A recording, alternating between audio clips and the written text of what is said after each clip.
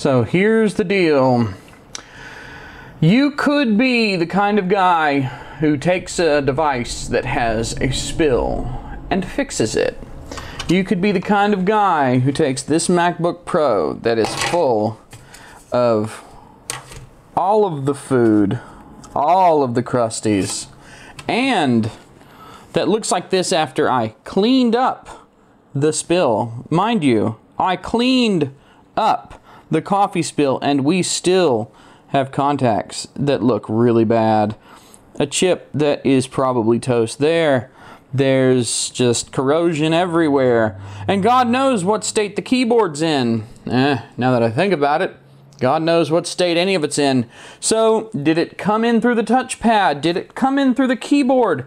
Did it come in through the vents in the back? Well, there's no evidence of that.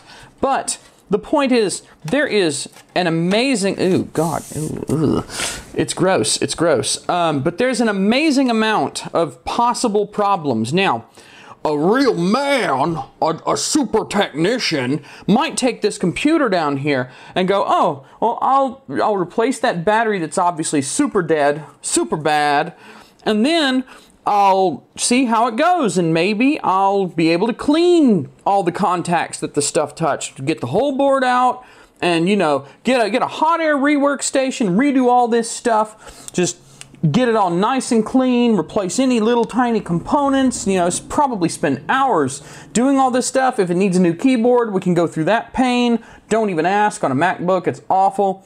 Or we could just do this. See this? You know what this is? Look, I'll move you in. I'll move you in closer. That is a donor laptop. That is about $140 worth of a purchase right there.